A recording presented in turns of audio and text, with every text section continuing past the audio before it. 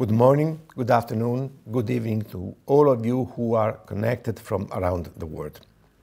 I am very pleased to welcome you to this Committee on Payments and Market Infrastructures, CPMI, webinar discussing fast payment systems interlinking. The world needs a better cross-border payment network. This is a point I made strongly in a recent Financial Times op-ed we have seen remarkable growth in cross-border payments in recent decades. The drivers are multiple. Regional integration, innovative business models and technologies, globalization of trade and capital, and international travel and movement of people. What we have not seen are substantial improvements in cross-border payments. Enhancements have been incremental for most, leaving many behind, including most disadvantaged segments of populations. The shortcomings of cross-border payments hinder integration and economic growth. The intricate and costly nature of these transactions discourages small and medium-sized enterprises from expanding their operations across borders. Solutions from unregulated or unauthorized service providers try to fill this gap, but they far too often overpromise, underdeliver, and come with significant own challenges. For example, unbacked crypto assets are intrinsically volatile and akin to gambling. None of the so-called stablecoins have been able to maintain parity with their peg at all times. And closed-loop solutions, even if properly regulated, are no panacea either. Each of them forms their own walled garden and tries to lock in payers and payees. This can lead to fragmentation of systems and high concentration of market power in specific areas. G20 leaders therefore rightly made enhancing cross-border payments a priority four years ago and have kept it near the top of their agenda. The CPMI has done a substantial amount of work these last few years. 2023 marked an important inflection point for the G20 cross-border payments program.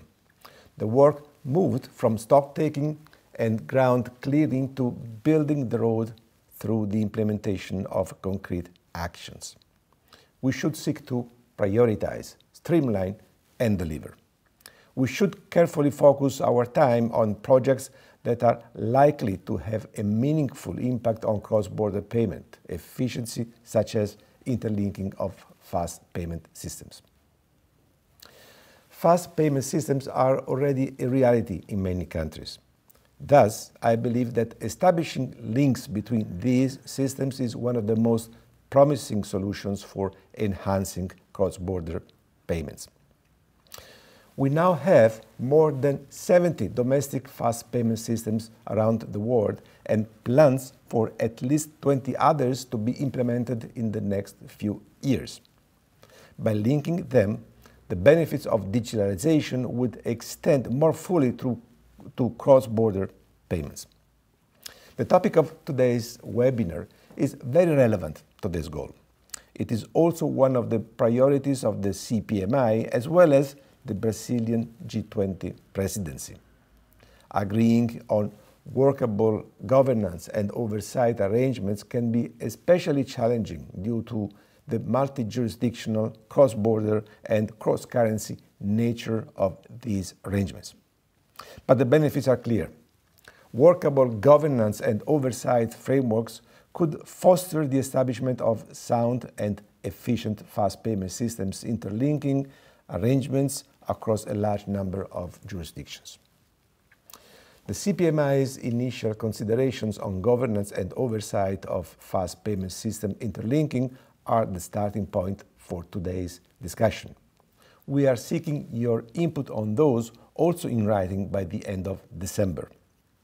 The focus on governance and oversight is justified if, in fact, links between fast payment systems are established. Let me note the importance of all the FPS fast payment system operators at this webinar to start or increase their efforts to establish links for cross-border payments. We have the opportunity to make a significant impact on the welfare of people and especially the most vulnerable that rely on remittances as a source of income. Let us make the most of it.